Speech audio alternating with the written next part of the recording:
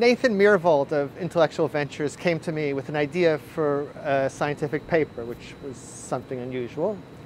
And the question uh, that he wanted to address is how much cooling benefit or warming avoided would we get from, by transitioning from a coal-based electricity generation system to lower carbon emission systems.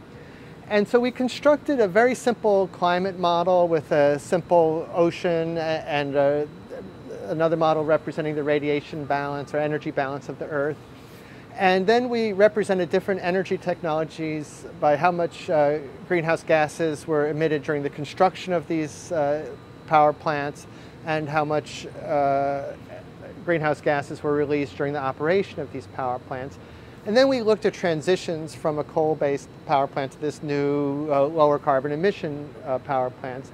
And what we found was uh, two basic things, that in order to get substantial climate benefit, you really need to go to the very low carbon emission energy technologies that if you say take something like natural gas, that it does have less emissions than uh, coal, and so it does have less of climate change, but you can think of it as you're delaying the, the time to get to the same amount of climate damage. And if you want to avoid that damage, you really have to go to low emission systems.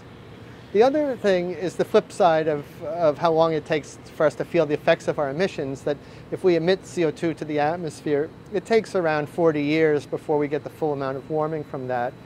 And conversely, if we avoid a CO2 emission, it takes around 40 years before we feel the full benefit of that. And so the emissions reductions that we put in place in the first half of the century, we're going to benefit from primarily in the second half of the century. And so the two real take-home messages from our study is that uh, in order to get significant climate benefit, we really need to move to the lowest carbon emission energy technologies. But even in that case, it's going to take until the second half of this century before we experience most of the benefit.